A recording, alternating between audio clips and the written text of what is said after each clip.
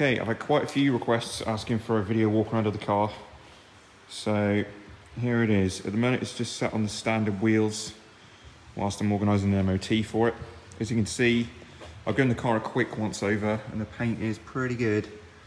The car was repainted tail end of 2017 into the start of 28, no sorry, tail end of 2018 into 2019. So the paint is pretty fresh. It's been sat in the unit here for just over a year. I've given it a very quick once over. I think a stage one machine polish would probably be a good shout just to get rid of some of the surface stuff that's on the paint. Um, the original rear lights at the moment are still on the car for MOT. However, the all red tinted lights are here, which have been professionally 2K'd, red, cleared, the whole nine yards. They are absolutely perfect. So they come with the car as well. Obviously the wheels, the Schmidt modern lines are here. Full set, black caps. They've all got 19540 16 tyres and they're 16 by 9 ET15 with as new, as you can see, apart from the dirt, Nankang NS20s. So budget tyre, but they're all basically brand new. The exhaust is here. It's a custom two and a half inch stainless with a single rear box, 61 manifold. I'll pop the bonnet in just a moment. Just to run you down the other side of the car as well. There is not a single dent over the whole car. So the whole car is completely dent free.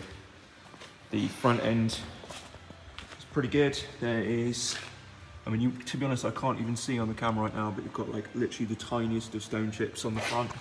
The front bumper is one or two, if that. So it's pretty good. If I move around to the inside, the glass sunroof is the Passat B4 moonroof, all working. Spoilers are working as well. Inside the car. So it's Momo Team 280.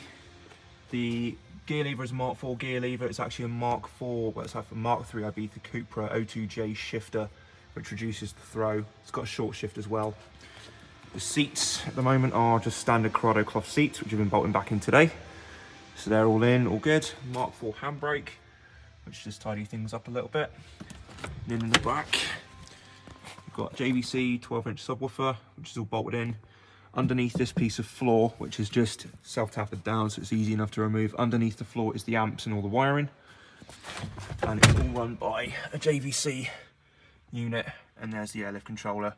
The car was a JVC sort of like demo slash show car for quite a bit. So that's basically where it's come from. In the boot, we have the boot build with the rear cage which is all bolted through the rear arches and through the floor. The rear door cards have been cut to get around the cage, so it's relatively neat, not too bad. This was going to be hard lined. Whether it would be hard lined in time for sale, I'm not actually sure, but there's already bulkhead fittings there, 3 8 and then in the end of the tank, it's all 3 8 lines, basically ready to run hard lines for that.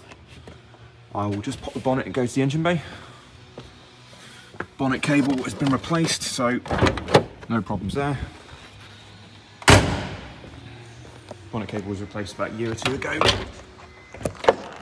Oh, heaviest bonnet in the world. Okay, so engine bay, given a fresh clean up today. Got an SWG scuttle panel, which has been painted satin black. They all catch on the bonnet, it's a bloody common thing, drives me mad.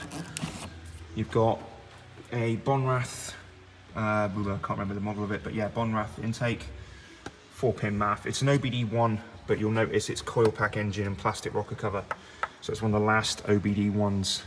So OBD1 2.9, but you know it's OBD1 because you've got all the controls for the idle stabilization valve and stuff all there, which on the OBD2s you don't, and the throttle body is different, etc. But it does have a four pin MAF, plastic rocker cover, and coil pack rather than Dizzy.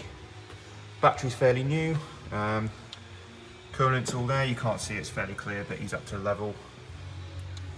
Uh, not really much else to say engine bay wise, truth told, you can't actually see from here, but it is a stainless 61 manifold there, all heat wrapped. The engine has been rebuilt, was done so a couple of years ago with all the head done and the bottom end done. I'll wrap this one up for now, and what I'll do is another video of the actual car running.